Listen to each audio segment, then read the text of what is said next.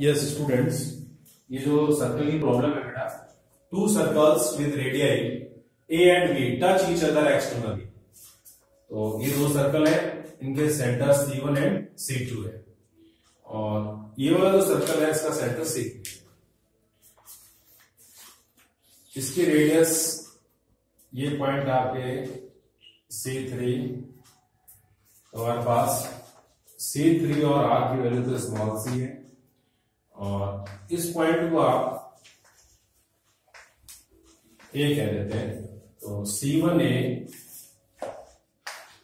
two small A और C two A two small A ये इनकी रेडियस है। इसको आप ज्वाइन कर दें। और इसको भी ज्वाइन करें। इसको ज्वाइन करें, थोड़ा सा आगे लेके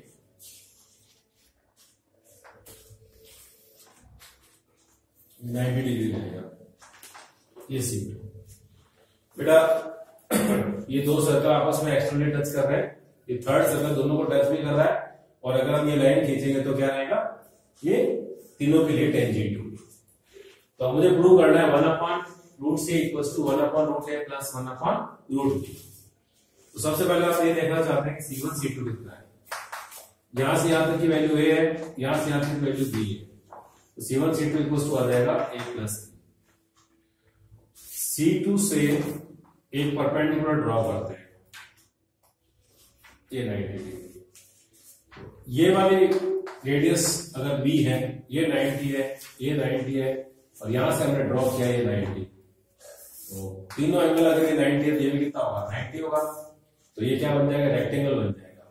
तो हमारे पास इसको आप कोई नाम दे देते हैं। कैपिटल बी दे देते हैं। तो पीबी जो है ना हमारे पास, और क्यू सी टू अगर ये बी है तो ये भी कितना हो जाएगा? स्मॉल बी तो मेरे पास अगर ये वैल्यू मैं निकालना चाहता हूँ B C one this equals to complete कितना बेटा?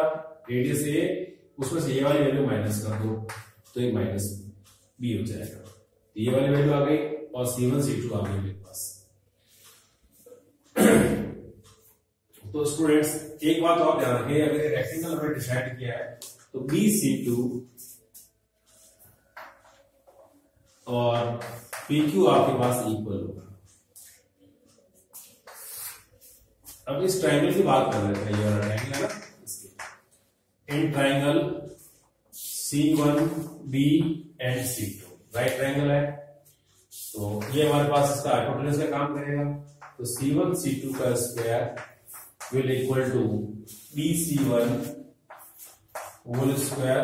plus B C two whole square C one C two C one C two value कितनी है? A plus B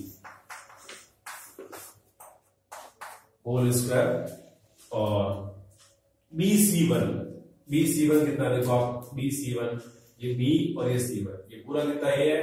उसमें से बी चला गया कितना था? A minus B whole square plus B C two लिखो बोले पी क्यू लिखो, एक है ना? इसको वैल्यू को इस तरफ़ ले आया। A plus B whole square minus A minus B whole square equals to P Q square expand करेगा इस फॉर्मूला तो A square minus B square का? वो ज़्यादा बेटर रहेगा। A plus B plus A minus B और A plus B minus ये value लिखेंगे ना। तो साइन चेंज हो जाएगा माइनस की वजह से। Equals to P Q square तो हमारे पास वैल्यू गई। बी से बी कैंसिल ए वैल्यू कितना आ गया टू ए और ए से ए कैंसिल ये आ गया two P is equal to P Q square then P Q is equal to square root of A B और ए टू ये हमारे पास आ गई पी क्यू थोड़ा कॉन्सेप्ट पकड़ो बेटा। ये इसको टच कर रहा है ना तो क्या है, इसकी रेडियस कितनी है? ए इसकी रेडियस बी है। तो square root of A B का ट्वाइस करेंगे तो मुझे क्या मिलेगा? पी क्यू मिलेगा। सिमिलरली ये वाला को हम और अप्लाई करेंगे। सिमिलरली अगर मेरे को पी आर चाहिए तो पी आर इक्वल टू होगा twice of root of P R इसकी रेडियस कितनी है मेरे पास? ए और इसकी रेडियस कितनी है? सी ए सी और अगर मेरे को क्यू आर चाहिए Q R is two twice of इसकी रेडियस बी और इसकी रेडियस सी बी और ये सी आ जाएगा। ये हमारे सिमिलरली पूरा फाइंड करना चाहते हो, इस तरह से पूरा फाइंड कर सकते हैं। अब देखो, एक छोटा सी, छोटी सी बात है मेरे पास। पी क्यू इजिकल तो मेरे पास कितना बेटा? P R plus Q R values put कर दें। पी क्यू कितना है? अभी निकाला था P Q twice of root A B equal to P R ये twice of square root of A C plus twice of square root of B C two तो common आगे सभी में घट जाएगा। आ, या ऐसा कह सकते हैं टू रूट ए बी है ना? तो two root A B C का डिवाइड कर दो। Equal to two root A C और two root of A B C का डिवाइड कर दो। Two root B C upon two root A B C का डिवाइड बहुत अच्छा क्वेश्चन है बेटा, बहुत ढंग से सुनना इसको। ये हमारे पास टू से टू कैंसिल और ये ए बी और ये बी कैंसिल टू से टू कैंसिल ए सी और ये ए और सी कैंसिल टू से टू कैंसिल बी सी और ए बी और A C cancel final value क्या बची? One upon square root of C one upon square root of B plus one upon square root of A ये हमारे पास में जो prove करना था वो वैल्यू आ गई।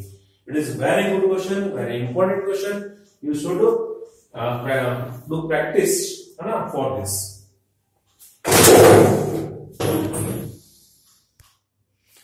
स्टूडेंट एक क्वेश्चन है, जिसके अंदर तीन तो सेमी सर्कल्स है, ये ए बी डायमीटर के साथ एक सेमी सर्कल है। इसका डायमीटर मेरे पास ए एम है, इस सेमी सर्कल का डायमीटर मेरे पास बी एम है। एक ऐसा सर्कल है जो तीनों को टच कर रहा है, उसकी रेडियस है स्मॉल आर मेरे को प्रूव करना है जो ए बी की वैल्यू है वो सिक्स आर के इक्वल होगी I have to prove it बेटा सिंपल सी बात है। ए बी को मैं ए कंसिडर कर लेता हूँ। ठीक है ना? अब आप ए करो बोले, आप चाहो तो आप एक्स कर लो ना। देखना ज़्यादा ठीक रहेगा। ए बी को अपन एक्स कंसिडर कर लेते हैं। तो ए एम की वैल्यू कितनी हो जाएगी? ए एम इस पूरे का हाफ़ हो जाएगा, यानी कि एक्स वाई और बी एम बी एम भी कितना हो जाएगा? एक्स बाई टू और अगर मेरे को सीएम चाहिए तो ये पूरा डायमीटर ना, ये इसकी रेडियस हो जाएगी। तो सीएम हो जाए ए एम का भी हाफ़ हो जाएगा। मीन्स एक्स बाई फोर ठीक है? कोई प्रॉब्लम नहीं इसके अंदर। अब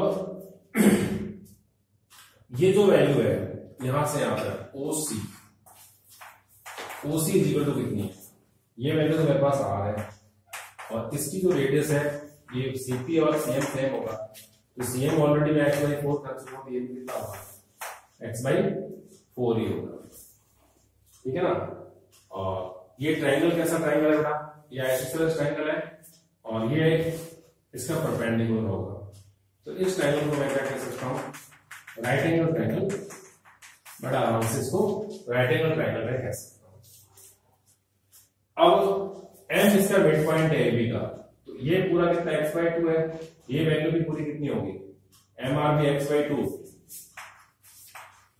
M R मेरे पास है एक्स बाई टू तो मेरे को तो चाहिए सिर्फ़ अगर ओ एम चाहिए तो ओ एम इक्वल टू क्या हो जाएगा?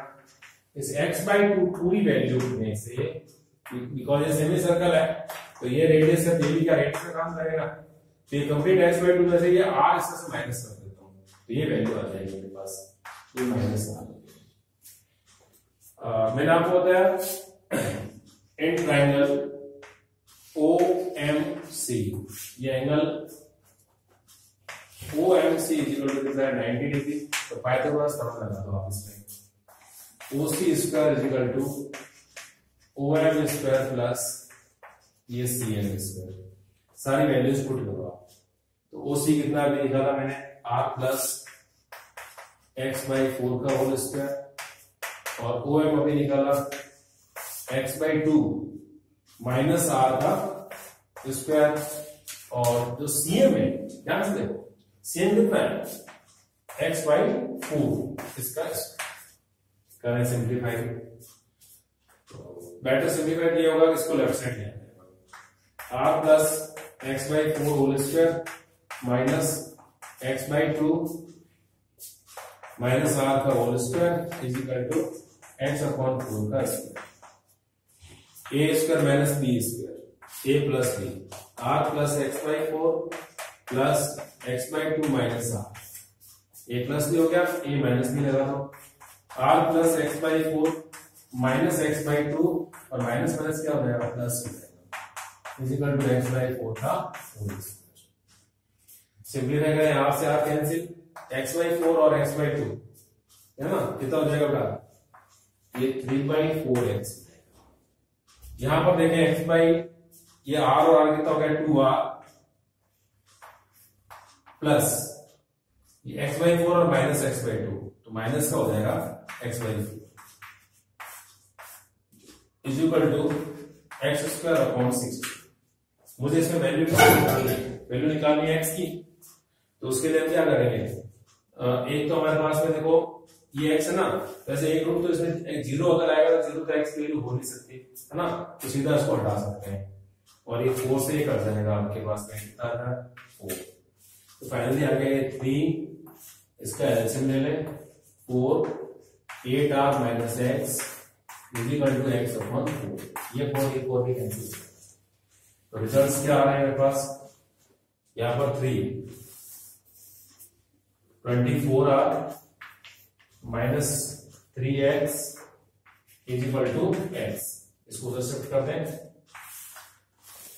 twenty four R is equal to X plus three X three X का कितना हो गया? फोर एक्स और ये ट्वेंटी फोर आर रिड्यूस कर दो इसको तो सिक्स फोर जा कितना हो जाएगा. ट्वेंटी फोर तो six R is equal to X X का मतलब कितना हो गया बेटा?